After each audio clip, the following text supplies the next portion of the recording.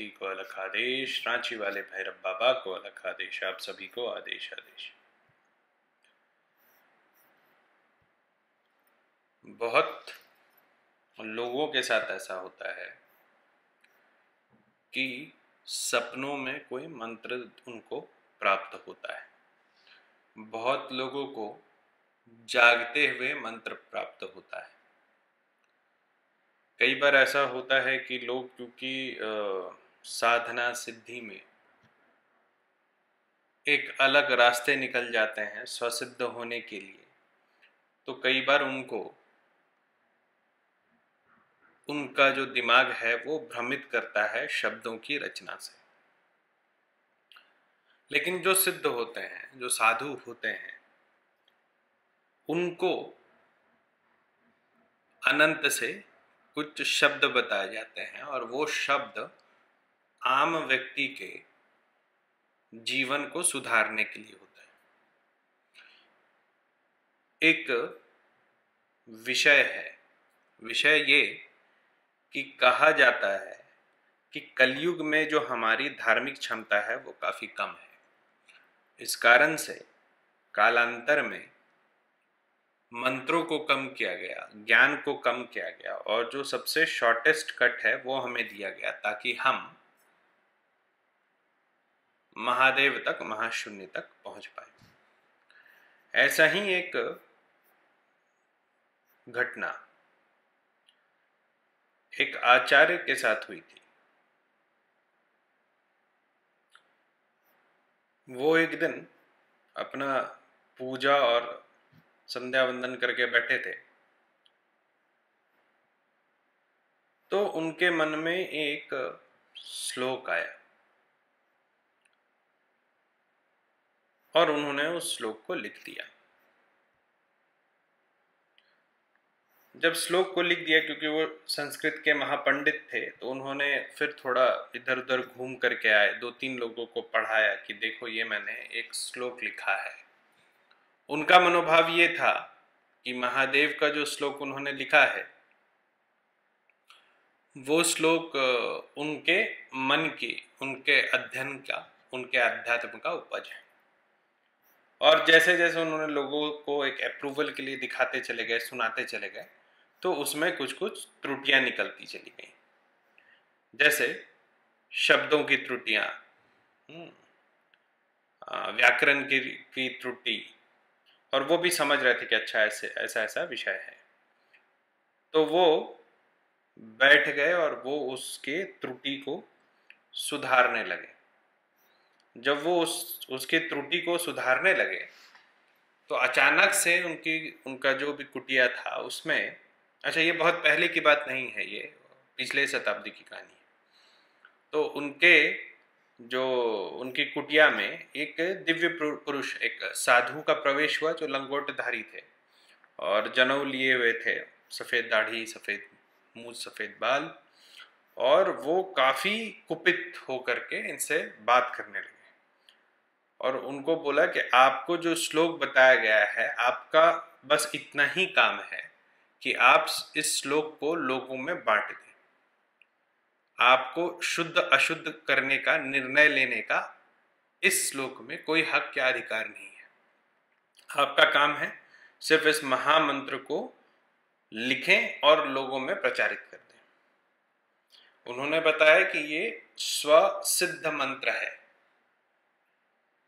और इसके निम्न जाप से भी आपको बहुत लाभ होगा, लोगों को बहुत लाभ होगा। ये घटना जो अध्ययन करते हैं, उनको पता है कि कई किताबों में दिया हुआ है। ये मंत्र, इसका कोई साधना विधान तो नहीं है। उस समय जब इस मंत्र को बताया गया था, तब इसका कोई साधना विधान नहीं था। स्वसिद्ध मंत्र का अर्थ होता है, जैसे हम लोग साबर करते हैं कि आपने किया और उस मंत्र को करने से ही लाभ हो जाए। उसी तरीके से महादेव शंभु को प्राप्त करने के लिए कहा जाता है कि ये बड़ा उत्तम एक मंत्र है। कालांतर में आ, साधकों ने एक व्यवस्था बनाई कि अगर इस मंत्र को और प्रभावी उग्र करना है और जल्दी से दर्शन करना है तो उसके लिए क्या होगा? तो उसके लिए कुछ व्यवस्था बनाई गई। क्या व्यवस्था बना गई? मंत्र क्योंकि कलयुग में आया, लेकिन ये साबर नहीं था, इसीलिए सफ़ेद शिवलिंग का विधान रखा गया। देखिए, हर काल में शिवलिंग का रंग बदलता रहा। सबसे पहले साफ़ सफ़ेद शिवलिंग आया, फिर लालिमा वाला शिवलिंग आया, फिर उससे थोड़ा और गाढ़े रंग का शिवलिंग आया और अंतोगतवा कलयुग का काला शिवलिंग आया। तो ट्रांसपेरेंट सफ़ेद, फिर हल्के लालिमा वाला और अभी काला शिवलिंग हम लोग प्रयोग कर रहे हैं। लेकिन क्योंकि ये सिद्धों के द्वारा सीधे इस मंत्र को बताया गया तो सफ़ेद शिवलिंग का इसमें व्यवस्था रखा गया। साथ में जो सक्षम है, उनके लिए कहा गया कि ग्यारह मुखी माला की, ग्यारह मुखी का दाना जो रुद्राक्ष का होता है, उसमें ग्यारह या इक्कीस दानों की मन का इस मूर्ति को चढ़ाए, ठीक है? और पाँच मुखी माला से इसका जाप करें। अच्छा पाँच मुखी माला में वर्णित है कि बेर के दानों जितना बड़ा नेपाली दाना होना चाहिए। देखो, नेपाली दाना वर्णन करने का मतलब क्या होता है? तीन तरीके के दाने होते हैं। एक तो हिमालयन रेंज में जो होता है, उसको रुद्राक्ष बोलते हैं। जो साउथ इंडिया डेक्कन में होता है, उसको भद्राक्ष बोलते हैं। और जो इंडोनेशियन रुद्राक्ष होता है, उसको नीलाक्ष बोलते हैं। तीनों में अंतर होता है। वो सामान्य लोग ऐसे समझ समझ नहीं पाते शायद इसीलिए उसका वर्णन किया गया कि उसमें आपको जाप करना है। शिवलिंग का तो दिशा तय होता है। मतलब शिवलिंग का जो अर्घा होता है वो नॉर्थ देख, देखता है और आप शिवलिंग के ईस्ट की पूजा करते हैं, ईस्ट दिशा में पूजा करते हैं। मतलब पश्चिम मुखी होकर के आप पूजा करते हैं। इसका जो साधना का विधान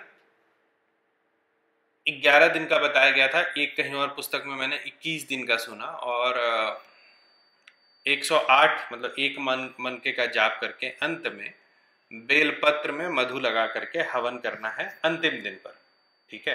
तो 11 या 21 दिन आप अपने हिसाब से जितना आपको महादेव से प्रेम हो, उस हिसाब से करें। आम दिन पर इसका सिर्फ़ स्मरण मात्र से, देखो जो मूल पुस्तक है उसमें बताया गया कि स्मरण मात्र से ही मतलब महादेव के सामने आप गए और एक बार आपने इस मंत्र को बोल दिया तो आपका जो भी कष्ट है, निवारण वो हो जाए। सिद्धि साधना उनके लिए, जो इस मंत्र से महादेव के और करीब आना चाहते हैं, महाशून्य के और करीब जाना चाहते हैं। महादेव और माँ भगवती की साधना में एक चीज़ है कि अगर आप ज़्यादा लीन होते हैं तो आपका मेटेरियल लाइफ से आप दूर होकर स्पिरिचुअल लाइफ में जाने लगते हैं। उसी को हम लोग भैरव जी की साधना से बैलेंस करते हैं। ठीक है?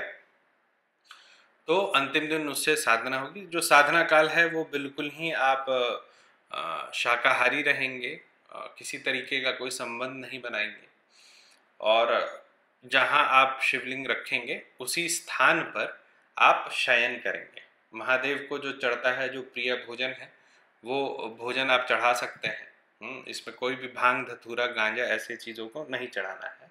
महादेव को प्रिय का मतलब सबसे ज़्यादा बेलपत्र है आग का फूल है। है ना? दूध है, दही है, घी है, इस तरीके के सामग्री को आप चढ़ाएँगे। ठीक है? मंत्र क्या है? मंत्र थोड़ा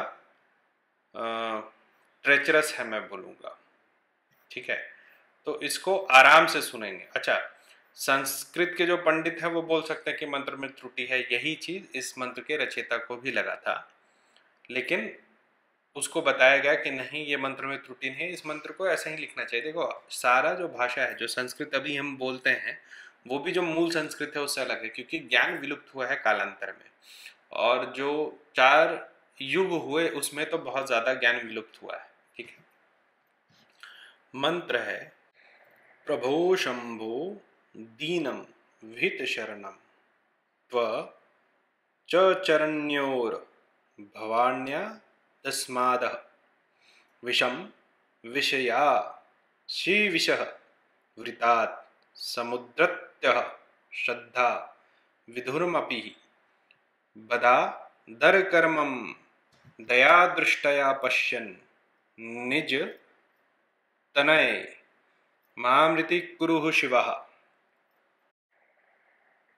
इस मंत्र को पढ़ने के और भी तरीके हैं। लोगों ने बहुत तरीके की संधि और संधि विच्छेद किए हैं। ठीक है, जैसे प्रभु, शंभु जो मंत्र है, उसके बाद लोगों ने दीनम के पहले प्रभु, शंभु, शिव दीनम कर दिया है। ठीक है, जैसे नीचे एक शब्द है निज तन्यम तो उसको निजत नयमाम ऐसे भी पढ़ते हैं। ठीक है तो ये दो अल्टरेशन आपको अलग अलग जगह पे अलग अलग पुस्तक में मिलेगा। जो मैंने बोला है आप उसको पढ़ के भी इस मंत्र का लाभ ले सकते हैं ठीक है? इस मंत्र को पढ़ने से महादेव का प्रत्यक्षीकरण भी ऐसा लोग बोलते हैं कि सवा लाख जाप के बाद उनको हुआ है। जिनको मंत्र लिखित चाहिए अपने हिसाब से वो आ, जो इस बार के अमावस्या का दिन है उस दिन मुझसे ये मंत्र ले सकते हैं।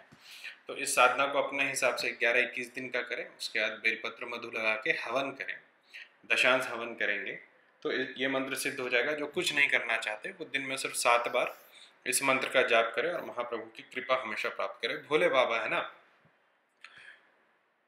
एक बार एक चोर ने महादेव के मंदिर में आग लगा दी। हालाँकि इन कथाओं पे मैं बहुत भरोसा नहीं करता हूँ, लेकिन कहते हैं कि उस चोर को महापंडित बना दिया।